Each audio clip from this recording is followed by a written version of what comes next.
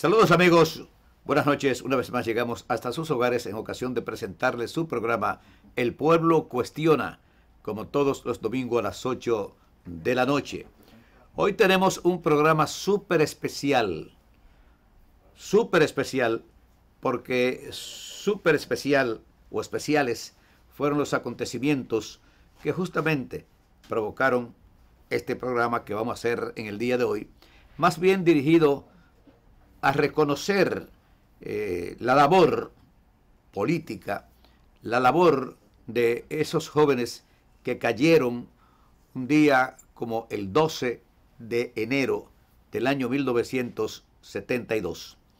Vamos a cumplir con nuestros compromisos comerciales para volver con el programa, que de seguro le va a gustar a ustedes porque va dirigido a, a la historia, o sea, va dirigido a la juventud dominicana para que conozcan algunos de los episodios históricos de nuestro país de más trascendencia, como es el que vamos nosotros a presentar dentro de algunos minutos.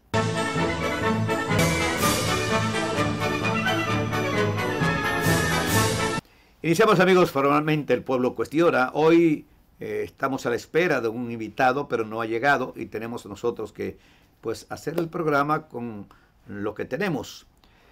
A mediados de diciembre del año 1971 se produjo un acontecimiento que realmente eh, conmovió al pueblo dominicano.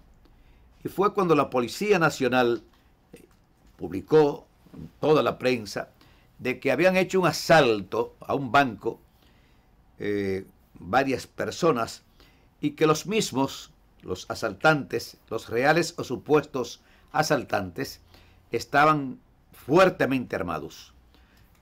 Cuando publicaron los nombres, nosotros vimos a alguien allí, a Mauro Germán Aristi, y yo dije para mí, bueno, esto es un llamado a las funerarias para que reserven cuatro o cinco ataúdes porque realmente eh, lo van a matar estos jóvenes. Se nos ocurrió una idea a nosotros, preñados de la mejor buena fe, como siempre hemos actuado desde el pueblo cuestiona, y fue crear una comisión, una comisión de notables, si cabe el término, para que sirviera de mediadora esa comisión para lograr que los jóvenes se entregaran. La comisión, y lo hicimos en una rueda de prensa, están los recortes de periódico de la época, la comisión eh, estaba compuesta por destacadas personalidades, unos que dieron, me autorizaron a que publicara su nombre, y otros que iban a asistir a lo que yo le había sugerido o propuesto y así se hizo. En la comisión estaba el nuncio apostólico de la época. Hablamos de la segunda quincena de diciembre del año 1971 y el rector, eh, don Rafael Caseacta, estaba además don Virgilio, Virgilio Alcántara, eh, estaba además eh, Rafael Herrera, estaba Salvador Pitalú Garibar, estaba eh, Germán Herminio, Ornes Cuascú me dijo que estaba, que me apoyaba en lo que nos habíamos propuesto, pero que él no le gustaba la publicidad, que él me apoyaba, en fin. Bueno, el caso es que en esa comisión, y repito, estaba el nuncio apostólico de la época, el rector de la Universidad Autónoma de Santo Domingo, don Rafael Caseacta, el doctor Salvador Pitaluga, estaba Virgilio Alcántara, en fin, habían varias personalidades formando parte de esa comisión. Todos estaban dispuestos a hacer, eh, formar parte para que los jóvenes, como nosotros le habíamos propuesto, se entregaran a esa comisión en televisión para que a su vez esa comisión se lo entregara a la Policía Nacional. Esa fue la idea general que tuvimos en ese momento. Nosotros, después de conformar la comisión, pues eh, nos acercamos al jefe de la policía, le dijimos en los planes que estábamos y él nos respondió de una manera un tanto brusca el general Neini Barceijas, como fue de que nosotros le habíamos echado, y voy a usar el término que él usó, le habíamos echado una vaina frente al presidente de la República. Él no quiso decir que fue frente a otros organismos, tal vez internacionales. Y me dijo que lo esperara en su despacho. Eh, me dejó en compañía de dos coroneles, Moncho Enrique, que todo el mundo pues lo conoció de la época, Moncho Enrique, y Caonabo Reynoso, que era otro de los, de los jefes departamentales de la Policía Nacional. Aproximadamente media hora después que yo hablo con el jefe de la policía, llega, llega el general y nos dice, o sea, Nainibar, y nos dice que habló con el presidente y que el presidente Balaguer estaba de acuerdo de que si los jóvenes se entregaban a la comisión en televisión, o sea, en nuestro programa, pues que Ney, el jefe de la policía, fuera a buscarlo para que se lo entregaran a él, como una forma de garantizarle la vida y de que no iban a ser maltratados. Bueno, así se hizo.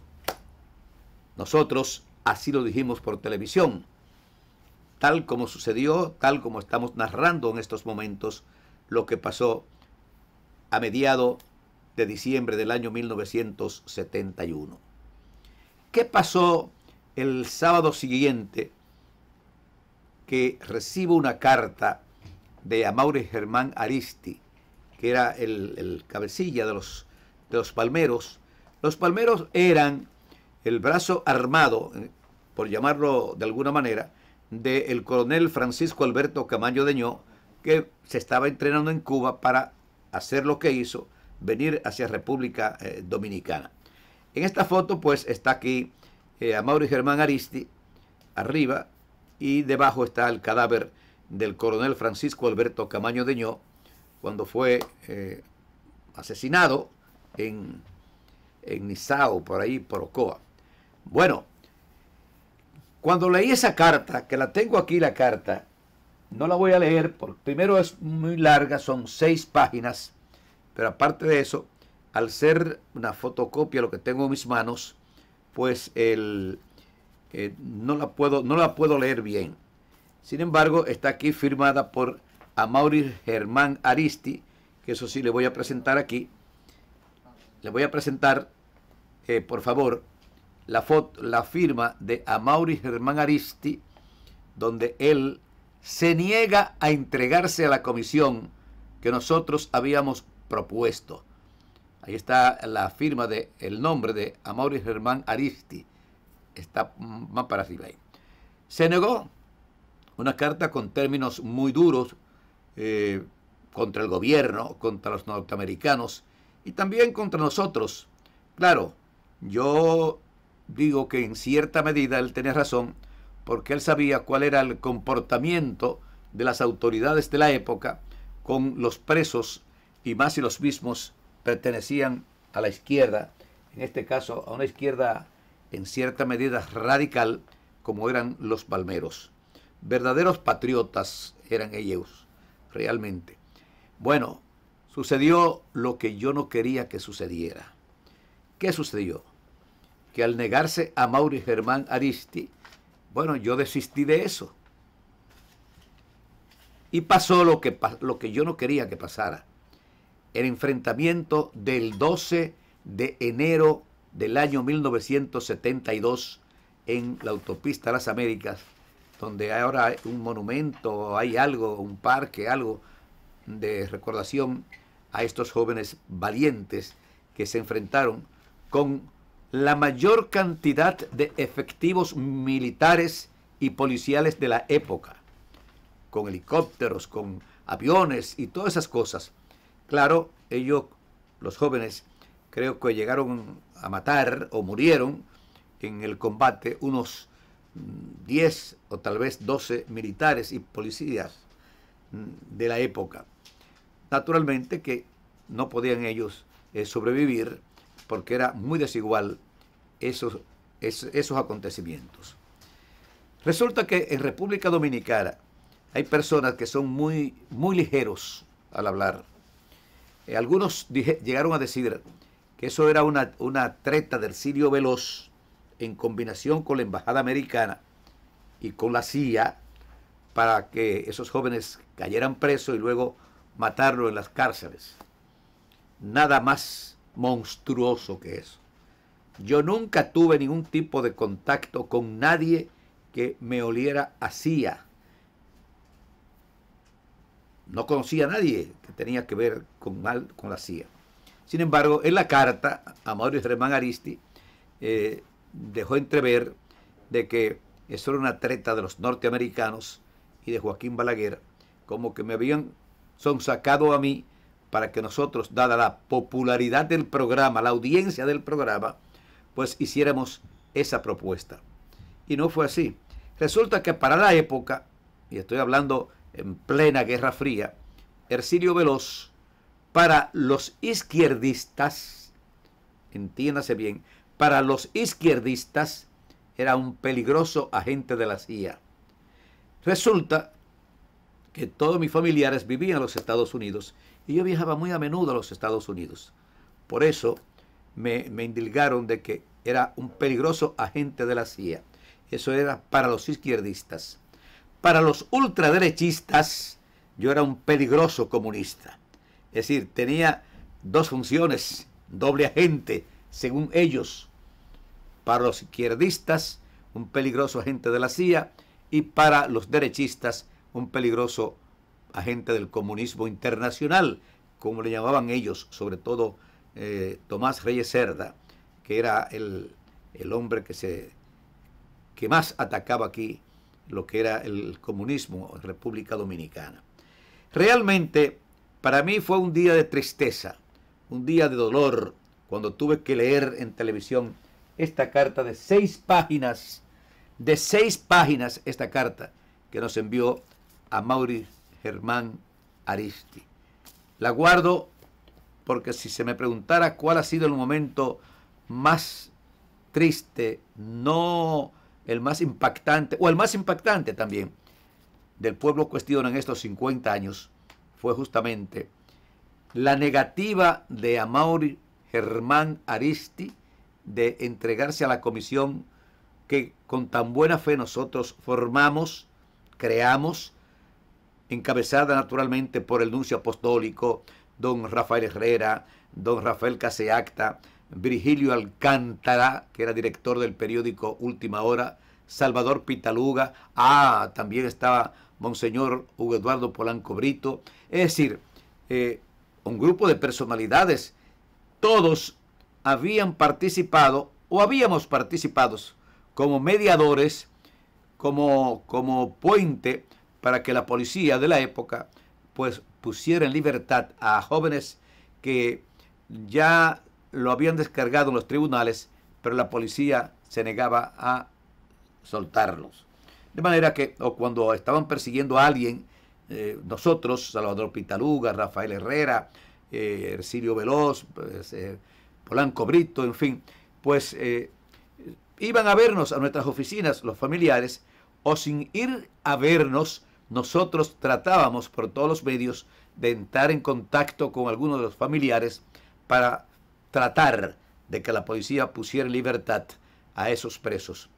Los últimos presos que nosotros intervenimos, justamente eh, cuando yo le planteé, voy al jefe de la policía, cuando los familiares de dos personas, tres personas, perdón, que estaban detenidos en la policía, habiendo sido puestos en libertad por los tribunales, pero la policía se resistía a, entregarlo, pues nosotros eh, realmente eh, fuimos solos y la policía nos entregó a estos jóvenes. De manera que cuando hablamos con Ney, nos dijo Ney, Ercilio, están más seguros aquí preso que en la calle. Y justamente así fue. A los dos días, a los dos o tres días, de, soltarlo, pues mataron uno en el malecón. Vamos a la pausa, vamos a cumplir con nuestros compromisos comerciales, porque ha llegado una persona que sí también está empapada, que es el chino Bujosa, José Bujosa Mieses, que todo el mundo lo conoce, reconocido periodista de nuestro país y además era concuñado de Amauris Germán Aristi porque una hermana del chino Bujosa era la esposa de Amauris Germán Aristi. Pausamos.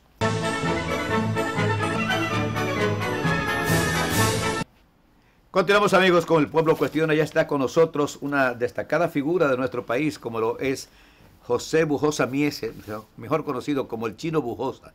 Él es, aparte de ser un hombre de, democrático, de, izquierda, es un hombre además, él es presidente ad vitam del Colegio Dominicano de Periodistas. Es decir, además fue, ha sido presidente del colegio. En dos ocasiones. En dos ocasiones. Eh, y Chino, en este 48 aniversario realmente eh, se celebró en el, lugar, ¿verdad? del, combate. ¿Qué tal quedó eso? Bueno, quedó muy hermoso porque en esta oportunidad la Fundación María Germán Aristi, que tiene 48 años dándole seguimiento a su memoria de los palmeros, eh, tuvo la idea de hacer un hermoso y patriótico acto. Que yo no pude asistir porque tiene una caída. Develando 28 bancos en el, en el Parque Memorial de los Palmeros, que está en, el kilómetro 12 y medio, en el, kilómetro 15 y medio de Autopista Las Américas. Ahí participaron los familiares de esos 28 patriotas dominicanos. Están los nombres de Francisco Alberto Cabaño Deñó, de Rafael Fernández Domínguez, de Héctor Aristi, de, bueno, Amauri, La Chuta, Virgilio, eh, Tina Bazuca, Mamá Tingó, o sea, toda una, una selección de personas que lucharon en la época de Trujillo, como Rafael Mieses Peguero, eh, las personas que lucharon en la época con Manolo en la guerrilla, los que lucharon en la guerra de abril y los y lo que lucharon durante los 12 años de Balaguer y más allá.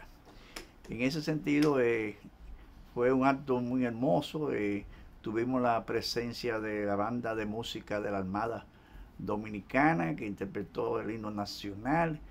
Eh, bueno, eh, habló la viuda de Amaury, Sagrada Bujosa.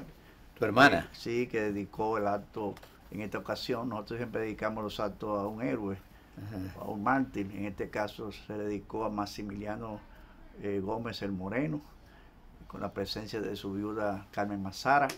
Habló Guido Gil, Guido Mazara en dándole Guido Gómez dándole las gracias por haber reconocido a su padre. porque hay que decirle que, el Moreno, como se le llamaba eh, popularmente, era el padre de Guido Gómez. Sí, hay unas imágenes, no sé si sí, están, están sobre lo que eh, fue ese acto, de lo que, que fue era un acto bastante hermoso. Y bueno, qué decirte, de ahí nos trasladamos a la, le decimos la cueva de la resistencia heroica, que fue donde finalmente cayeron a Mauri y Virgilio Perdomo. Chuta y Ulises fueron emboscados en la casa que les servía a ellos. De, murieron primero ellos. Ellos primero murieron. En horas de la mañana, ¿verdad? En horas de la mañana, como a las 6 de la mañana, por ahí, porque la casa fue cercada desde la madrugada. Y bueno, eh, se pasó a la, a la cueva y allí también estudiantes del liceo del centro de estudio Los Palmeros lanzaron flores a la, en, la, en, la, gruta, se pronunciaron discursos, se cantaron canciones. Todo fue un acto muy hermoso. Nosotros que celebramos también esa fecha, 12 de enero, el Día de la Resistencia Heroica, que por, por ley del Congreso Nacional, la Fundación la, había solicitado al Congreso, que reconocimiento al heroísmo, a la valentía de esos jóvenes, se declarará ese día 12 de enero Día de la Resistencia Heroica y también así se celebra en diversos lugares del país, fuera del país. En Estados Unidos, New York, también los dominicanos hicieron un acto muy hermoso, muy concurrido también, eh, un panel con la participación de destacados intelectuales que residen allí, donde se analizó todo lo que fue antecedente, desarrollo y consecuencias de lo que fue ese 12 de enero, que se cumplió el día 12 de enero pasado su 48 aniversario. Esa es la historia, Ejercilio, donde tú te viste también envuelto en el sentido de aquel gestión que tú quisiste hacer para salvar la vida de los muchachos. Porque Por mi amistad con Amaury, fundamentalmente. Porque tu olfato político te daba la impresión de que los muchachos podían ser eh, eliminados en su persecución. Y conociendo tú a Mauri, sabía que era un, joven agreste, un hombre valiente, y todo el contenido también de los compañeros que lo rodeaban, Virgil, Ulises, La Chuta. Tú quisiste, eh, como comunicador, intervenir para tratar de salvar la vida. Y como amigo de Mauri. Y como amigo de Mauri, porque tú y a Mauri se conocieron como nosotros también en la batalla del 20 de octubre. De la calle Espaillá. La calle Espaillá. Y después la revolución. Y después la revolución. Entonces te, motivaba la amistad, como también tu condición de, de ciudadano que quería proteger la vida de, dominicanos que se veían en peligro, no solamente en el caso de Amaury y, los demás muchachos, tú también eh, había intervenido en otros momentos de, jóvenes que estaban perseguidos y con peligro de perder su vida y era de, los gestores. Jóvenes o jóvenes que habían sido puestos en libertad por la justicia, pero la policía se negaba a se entregarlo. Negaba a entregarlo. Y bueno, eso es algo realmente que en tu historia de más de 50 años en el periodismo dominicano, eh, hay que reconocértela que ha sido un comunicador en ese sentido muy conectado con el sentimiento nacional y con lo que son los hechos que todo comunicador debe tener, eh, dominar, que no simplemente es hablar y decir y comentar, sino también cómo puede desde esta tribuna contribuir a buscar soluciones que vayan en beneficio del país y de familias y personas en vivo. Usted sabe que en el año 1975 yo estuve en Cuba, eh, invitado por el Partido Comunista, bueno, por gestiones del Partido Comunista de aquí, y en una reunión un encuentro en, el Departamento América del Partido Comunista, creo que así se llama ese departamento, eh, hablamos del caso, de, por qué nosotros habíamos hecho eso. Yo le dije, le, conté la historia, ¿verdad? De, desde cuando conocí a Mauri, el por qué me involucré en eso, porque quería salvar la vida, en fin. Y puse de ejemplo el caso de Fidel Castro. Y dije además que si, que si a Fidel Castro Batista no lo indulta y él se va a México, Fidel Castro no hubiese hecho lo que hizo. Claro. ¿Entiende? Yo particularmente no creo en héroes mucho, yo creo en hombres vivos, porque el vivo es el único que puede hacer eh, las cosas malas o las cosas buenas, el vivo.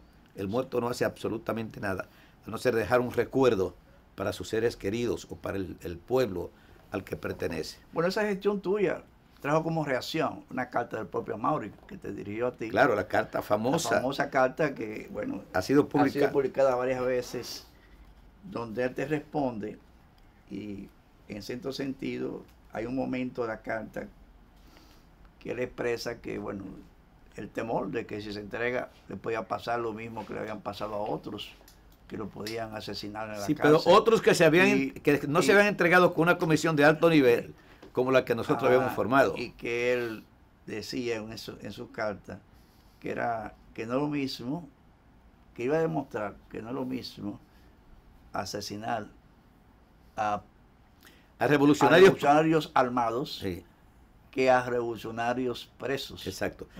Ya, ya a Mauri había roto cercos que la policía le había tirado. Bueno, en el como fue en, el INVI. En el INVI. En el INVI. Ahí era la casa de mi hermano, donde él se ocultaba y de repente hubo un cerco, una delación que sabemos quién fue que la hizo. Escapó esa persona, está en Estados Unidos hace tiempo. Y bueno, en ese momento se percató él de que estaba cercado y le dijo a, su compañera esposa sagrada y, y a una eh, esposa de mi hermano mayor, era que residía en la casa, retírense, sálvense que yo voy a enfrentar esta situación. Así cogió una Thompson que tenía y le enfrentó la, el cerco. Él, fue herido también en otro combate. sí, en ese combate él fue herido en, una, en el muslo. En el muslo. Y él también hirió en, en, los glúteos a Chichi Bolón, que era uno de los policías, sargento de la policía, muy conocido por sus crímenes contra hombres de izquierda. Y Chichi Bolón salió herido de ahí pero cuando el Mauri respondió, ayer le cogió muy de sorpresa y había una estampida de, policía huyendo huyendo. Yo, pensó, bueno, esto es el diablo que no ha salido. Entonces ellos respondieron de nuevo y convirtieron la casa en un guayo, le tiran claro. balas de todo tipo, de todo calibre. Que fue muy mal herido. Y ahí Amari, quedó herido, pero así herido pudo escaparse. Tuvo la virtud de que cerca de ahí donde él, estaba oculto había una, un familiar nuestro que tenía también una farmacia y le prestaron los primeros auxilios en esa farmacia. Y de ahí entonces fue trasladado en un carrito Volkswagen eh, botando mucha sangre, a la calle aquí Hosto, donde las hermanas Peguero, de Lember Peguero. De Lember Peguero, sí. Que era el esposo de una de ellas, era médico, o es médico. Y el esposo le dio también su atención, sus atenciones primarias. Y de ahí fue llevado entonces a una clínica para que eh, fuera eh, atendido con, con, mayor condiciones eh, y en ese sentido se salvó de esa herida que obviamente lo hizo botar mucha sangre. También fue herido el, 19 de mayo de 65 en el asalto al, cuartel, al Palacio Nacional. Él era del grupo de... Ah, él estuvo en el grupo. Era del grupo de catorcistas que fue cogido por, Julián, por eh, Juan Miguel Román, y que murió ahí, que murió Rafael Fernández Domínguez, que también murió ahí. Él era ese grupo Euclide, Euclide, Morillo. Y bueno, y en, en la 30 de marzo de Quina Abreu, que se produjo el, disparo mortal que alcanzó a Juan Miguel, un balazo en la frente, fue un, franco tirador. Desde el palacio. sí, desde la esa, ese, ese edificio que era estaba ahí como la Caribbean Motor, creo que era en la 30 de marzo, eh, un edificio grande que había ahí, que era del Estado, eso, del Corde creo que era. Desde la azotea de ese edificio fue que, dice que eran los americanos que estaban ahí, le dispararon. Sí, la Caribe Motor. Y, ahí cayó mortalmente. No, no fue desde el eh, Palacio entonces que, No, no, eso fue eh, de, un, un, francotirador que estaba en ese edificio, en la azotea de ese edificio, tiene una posición estratégica bastante visual para tirar ese disparo que fue tan certero. También, eh, porque primero fue herido Juan Miguel en las piernas y al caer fue que le dieron el otro balazo en la frente. Entonces a Mauri tratando de, de, jalar el cadáver de Juan Miguel, de, Juan Miguel también fue alcanzado en, un muslo. Tú sabes que yo no conocía, yo no conocía realmente a, a Fernández Domínguez, nunca lo conocí. Conocí a su hermano Caonabo, conocí a otros familiares de él y lo conocí realmente ya muerto. Cuando llevan el cadáver a la, emisora, o sea, al copelo, ah. que dijeron, traen el cadáver de, de Fernández Domínguez. Yo había oído hablar de él, pero no lo conocía. Lo conocí después de muerto, ah. a Fernández Domínguez, con un balazo en la frente y un balazo en un tobillo. Se subió en un escritorio, se puso el cadáver ahí y recuerdo que no había luz y se mandaron a buscar una velita y se le pusieron al cadáver ahí. Eh, yo lo conocí. Era, fueron eh, eh, disparos certeros, porque también Juan Miguel fue en la frente el disparo. Yo vi el cadáver de Juan Miguel. Yo recuerdo que él botaba más encefálica por la frente. Sí. Eso sí recuerdo. Yo vi el cadáver de Juan Miguel también. Y, bueno, porque eso fue una noticia terrible. bueno, para los catorcistas que Juan Miguel era el líder militar, el principal en ese proceso de, eso fue el 19 de mayo de 65. Y cuando se supo la muerte de Juan Miguel, hubo muchas lágrimas. Y yo fui de lo que fui a verlo. Su cadáver estaba en el, en amor del hospital Padre Villini. Y ahí fue que yo me percaté de que tenía realmente un disparo en la frente. Conjuntamente con otros de los que habían sido eh, asesinados, habían caído en ese, en ese intento por tomar el Palacio Nacional. O sea que obviamente, Silvio, son episodios donde Amor y Germán Aristi, que jugó un papel estelar, y con él, todos sus compañeros, que Virgilio era un hombre también sumamente eh, valiente, y Ulises, era, eran cuatro titanes, cuatro guerreros. Yo no conocía a los demás compañeros de él, pero realmente yo lo que dije fue, si están con Amaury, es porque son gente realmente no, no, que son, son eran hombres decididos, hombres decididos. ellos sabían lo que estaban. Por eso me involucré, por eso eh, pues, se provocó esa carta y por eso inclusive recibí amenaza de alguien merecemos el nombre porque no me gusta hablar de los muertos, ya está muerto. Un día, después de todos esos acontecimientos, yo iba al Nacional, tenía un acuerdo, un intercambio con, con Rafael Molina Morillo y el pueblo, o sea, el Nacional y el pueblo cuestiona, y voy a llevar la foto del entrevistado.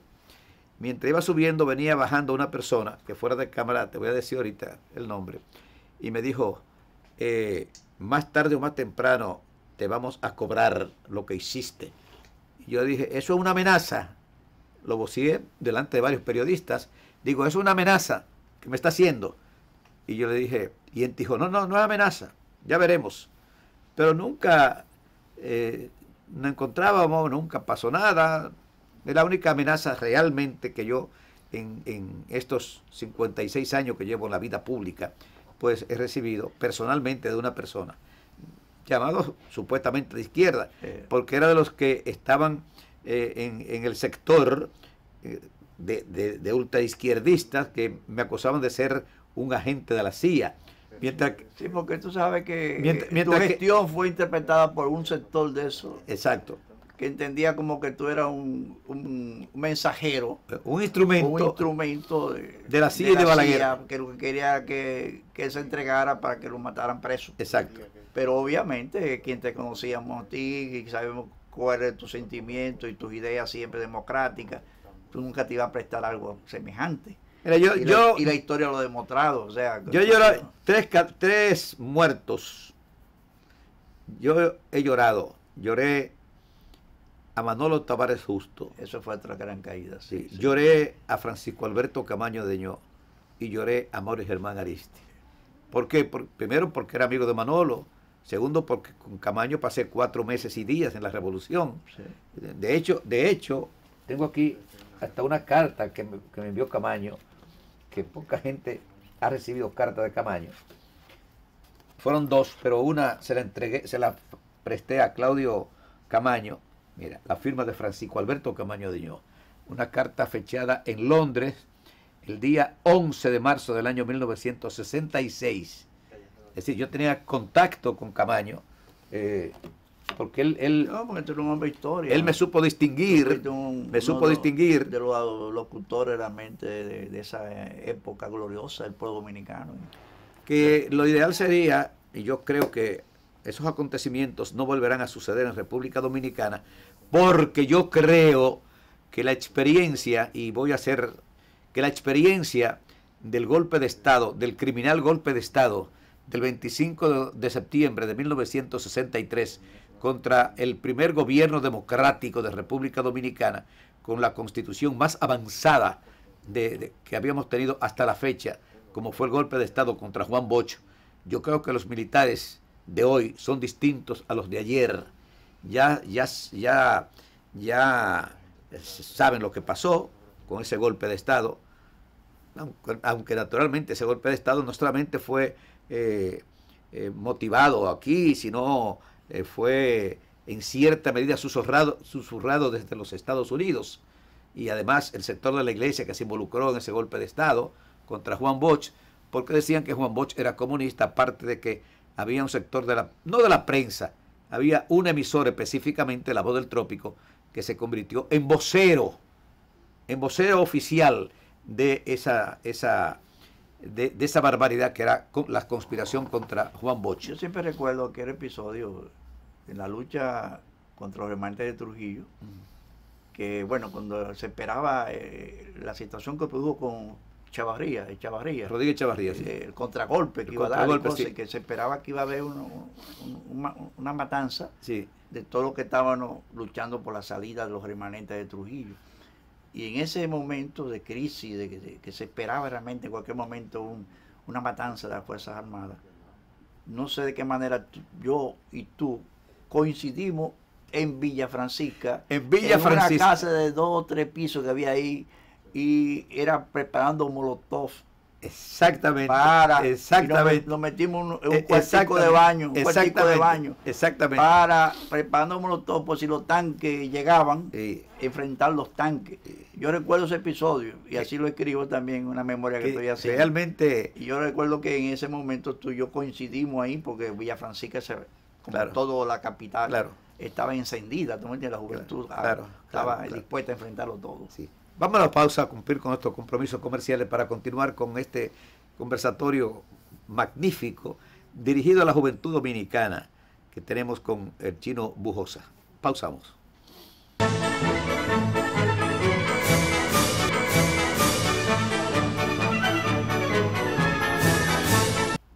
Continuamos amigos con este programa importantísimo, histórico naturalmente, porque lo que estamos hablando aquí son cosas que eh, un por ciento muy elevado de la población dominicana desconoce, sobre todo todo el, que tiene menos de 40 años no sabe qué pasó el, el 12 de enero del año 1972, cuando Amaury Germán Aristi, eh, un valiente, para mí un héroe nacional, eh, tuvo que enfrentar él y tres, eh, eran, eran cuatro ellos. Eran cuatro con, con Amaury. Con Amaury eran cuatro. Tres de sus compañeros tuvieron que enfrentar a un ejército, la policía, eh, los Más helicópteros. 2000, 2000 efectivos. más de 2.000 efectivos para cuatro hombres. Naturalmente ellos se portaron como, como, como súper valientes cuando enfrentaron esto. Duró una batalla de cerca de Es- 10 horas. Siempre se le criticó al doctor Joaquín Balaguer que no quiso eh, recibir la comisión mediadora Ajá. que, que intervino, quiso intervenir para evitar de que, de que mataran a los jóvenes. Lo vino recibiendo de- de- Después muertos. después de muerto, a las Porque 5 de la tarde. El, el- el interés era eso, que lo Sin- mataran y después de muerto, ya, ¿qué se Ya, podía hacer? Ya. Es- es- sin embargo, cuando, cuando Bar fue a plantearle la, la idea nuestra, él dijo que sí, que si se entregaban a la comisión desarmados en el canal, eh, o sea, en televisión, que a Ney que lo fuera a recibir. Pero ¿cómo iban a entregar si estaban cercados? No, no, no, no, pero yo estoy hablando Antes. cuando la carta, cuando, ah, cuando la carta. cuando la carta, Ah, cuando la cuando la carta. Ah, sí, la cuando la carta. carta, cuando yo le propuse a Ney, Sí. eh, cuando le dijimos, yo le digo a Ney la comisión que habíamos formado, ajá, ajá. ¿entiendes? Y Ney me lo que me dijo, qué vaina, tú me has echado el silo ante el presidente. Y salió al palacio, real o supuestamente salió para palacio, y me dejó en su antedespacho con dos coroneles que tú conociste muy bien, con Moncho Enrique y con Caunabo Reynoso, que fueran dos personas Bueno, el mismo Neibar Seye, después que se produjo el, el crimen contra ellos, expresó de que Eran- era- eran- eran unos gallos. o sea, Era- que eran unos- eran unos Reconoció la valentía. Reconoció la valentía. y el valor de ellos. el valor de ellos. o sea, Hay, eh, hay casos eh, eh, históricos, hay casos Tú sabes, tú sabes, Ciro, escúchame, que ese hecho del 12 de enero, esa batalla de más de 10 horas, en América Latina no se ha producido un acontecimiento como ese de, de heroísmo. Se- hay algunos semejantes, pero como ese del 12 de enero, cuatro jóvenes enfrentar más de 2.000 efectivos, policía, marines. ellos lograron matar creo que 8 o 10 como militares. 12, como- eh, pero hay quienes dicen, incluso sobrevivientes, militares que ya están retirados, que fueron mucho más que cayeron ahí. Y entonces se explica todo de el hecho mismo de cómo cuatro jóvenes enfrentó un ejército armado con tanques, bazooka, cañones, de todo, aviones, cosa, aviones, porque barcos, había tuvieron- barcos. Tuvieron que localizar y llamar al, al- a Estados Unidos, al Pentágono, no sé, para que le facilitaran un avión, de esos aviones que Avión espía. con, con espía, que con rayos eh, Ubica. ubican los lugares donde estaba la, la resistencia. Y en ese sentido eh, vino un avión de Puerto Rico, de Estados Unidos, para ubicarlo. Después Exacto. de ese avión fue que ellos se dieron cuenta en qué lugar estaban, y entonces comenzaron a lanzar los morteros, que obviamente parte de lo que ellos eh, tenían en su cuerpo, sus cadáveres, eh, hubo muchos eh, fragmentos, esquilas de, de morteros, porque fueron tan pronto localizar la cueva, una lluvia de, monte- de morteros comenzó a Ah, caer. Hay figuras, hay figuras que uno dice, bueno, eh, con una imagen no muy, no muy positiva en sentido general, sin embargo, en momentos estelares de nuestra historia han actuado con responsabilidad. Es el caso de Enrique Pérez y Pérez, que todo el mundo sabe cómo él se comportó como militar, en fin. Sin embargo, él evitó un baño de sangre a República Dominicana cuando las elecciones del 78, cuando se apagó la Junta, cuando eh, generales como Chan Javier eh, se oponían a, que se, siguiera contando y ya se reunieron para desconocer el resultado de las elecciones. Cuando lo llamaron a él, él dijo, bueno, esto es provocar un baño de sangre en República Dominicana. Conmigo no cuenten. Dio la espalda y se fue. Conmigo no cuenten. Ellos lo estaban esperando a él, a Enrique Pérez y Pérez, para que lo apoyara, porque era jefe del ejército, tengo entendido, y él se negó. Y fue cuando él fue donde Balaguer le dijo lo que estaba pasando, y Balaguer no tuvo más que aceptar. O sea... El gacetazo fue eso, subió de ahí. ¿Cómo es? El famoso gacetazo de cuando se quedó Balaguer con parte del Senado. Exacto, exacto, exacto. salió eso. Pero, pero el, el, quien, quien evitó el baño de sangre fue Enrique Pérez y Pérez, porque era jefe del ejército. Si él hubiese dicho que sí, que de acuerdo, que de, conocer todo ah, eso, imagínate lo que iba a pasar esa noche. O sea, te digo esto, te digo esto porque además, y esto lo digo en favor de Enrique Pérez y Pérez, que creo que está muy enfermo, no sé. Eh, cuando el, cuando Wessing presentó, cuando Balaguer presentó a Wessing en televisión lo acusó de ser un, conspirador impenitente. Cayeron varios jóvenes presos, entre ellos varios que eran hasta, hasta evangélicos. Y cuando me fue a ver la hermana de uno de ellos, para decirme que su hermano estaba preso junto con varios amigos, injustamente, eh, a mí que hablar con, con, con, alguien, yo no podía conseguir a Enrique Pérez y Pérez, y hablé con un general que era amigo mío, Marco Jorge Moreno, y Marco Jorge Moreno se comunicó, no sé por qué vía, con él, él me recibió, Enrique Pérez y Pérez, con mucha, muy atento, muy cosa, y yo le planteo el caso de los jóvenes, y él me dijo, se lo entrego a usted, de preocúpese, se lo entrego a usted. Él quería que yo fuera a buscarlo esa misma tarde a la Victorias. Y yo dije, no, mañana yo lo voy a buscar. Cuando fui al día siguiente estaban ellos vestidos, limpios. Y, es decir, eh, te digo esto porque muchas veces hablamos de, todas las cosas negativas donde participó Enrique Pérez y Pérez, pero también hay que decir las positivas. Para mí, haber evitado ese baño de sangre del día 16 de mayo del año 1978 es importante. Tú sabes que viendo esos hechos, sí, eh, esa decisión final de Amaury que siempre tuvo en su cabeza, que hasta su madre que su madre, su madre doña Manuela, le, pedía a mi hijo, estoy preocupada por tu vida. Y, y él le decía que él tenía un compromiso con este pueblo y que él, si tenía que dar la vida, iba, la iba a dar. Pero lo demostró, de, lo, demostró o sea, que él no se iba a entregar. Lo demostró de muy niño prácticamente. Eh, pero la misma mística, los sucesos de la, misma mística de Manolo. Claro. Cuando dijo en el 62, allá, si la, oligarquía sigue eh, conspirando contra el gobierno legalmente constituido, el 14 de junio sabe dónde están las escarpadas montañas de Quisqueya. Y así lo hizo. O sea, eran políticos que sus palabras... Su palabra empeñada. Empeñada. Sí. Un compromiso. Y así la hacían. Porque mucha gente quiso que Manolo no se fuera. Pero ya le había hecho ese compromiso. Muchos de sus compañeros. Sí, ya había hecho su compromiso. Y así a Mauri tuvo mucha gente que lo aconsejaba, que mira Mauri, asílate, mira Mauri, eh, busca una solución, vamos a buscar una salida de otra manera. Eran decisiones ya eh, mucha firmeza, una convicción revolucionaria. Y en ese sentido, eh, ese grupo, ese grupo de compañeros que cayó ahí el 12 de enero, es un ejemplo para la juventud lo que es cuando se tiene un ideal, porque hoy en día eh, lamentablemente vemos un sector, porque no vamos a hablar de la juventud en sentido global, un poco desviado claro. de lo que fueron esos principios. Y por eso estos programas tienen esa importancia. Distinta, distinta a la época nuestra. donde, donde, donde, prácticamente un 99% de la juventud estaba involucrada. Silvio, uno, uno se mira lo que era uno en esa época cuando joven y lo que es la juventud de hoy en día hasta en la forma de vestir, la forma de hablar, hasta la forma de caminar. Una diferencia total. Total, total. O sea, a mí se me dice, chino, tú quieres cambiar aquella juventud por esta. Yo, no, no, no, no, no. Jamás en la vida. Pues.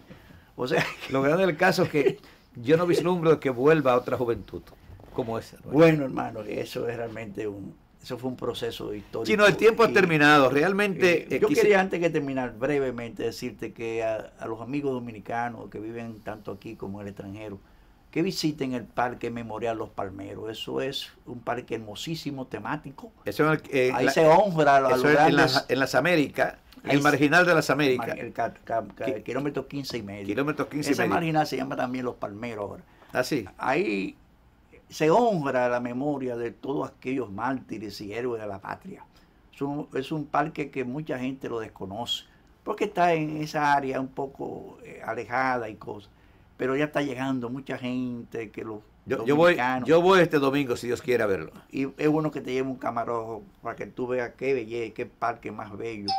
Y además está lo que es la, la cueva, que eh, nosotros logramos con el ayuntamiento que declarara esa, área. Vamos a dejar pendiente otra comparecencia tuya y de Sagrario, Sagrada, ah, Sagrada, junto a los dos, con tu hermana, para seguir hablando sobre este tema que es inagotable, lo que hay que decir, todo lo que hay que decir en torno a ese 12, ese fatídico 12 de enero del año 1972, cuando fueron asesinados los miembros del grupo Los Palmeros, que eh, fue organizado con motivo, eh, va bien en Cuba, para darle seguimiento aquí, o para... Ah, el proyecto de Camaño. El proyecto de Camaño, que también cayó... Era, era, la, era avanzada, el, frente, frente interno. Tengo entendido que hubo un rompimiento entre Camaño y Amauri. Sí, ya es otra historia. Esa es otra historia. Aquí está la carta de, ese rompimiento. Está la carta ahí.